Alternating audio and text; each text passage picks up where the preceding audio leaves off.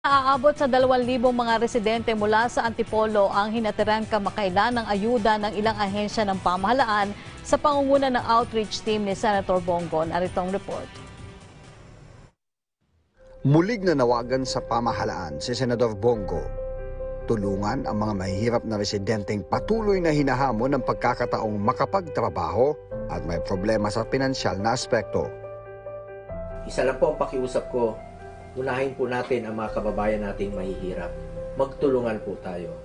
Sa relief operation na isinagawa sa Antipolo City at Barangay Macabud sa Rodriguez Rizal Kamakailan, abot sa 2,000 ang mga residente ang tumanggap ng pagkain at mask mula sa tanggapan ni Go.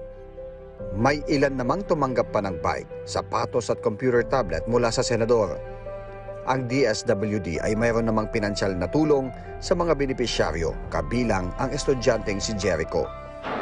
Senator Bongo, maraming salamat po sa inyong tulong po ngayon sa amin po mga estudyante. Dahil po marami, ah, marami po kayong natulungan ngayong pandemya, lalo na po sa aming mga estudyante na nangangailangan po ng tulong. Si Evangeline naman, labis ang pasasalamat dahil nabigyan na siya ng matagal na niyang inaasam na wheelchair dahil hirap na siyang makapaglakad. Senator, abot-abot po ang masasalamat ko sa inyo. Maraming maraming salamat. Marami kayo natutulungan. Naasahan ko pa po na marami pa po kayong malulungan na kapwa ko mahirap. God bless po.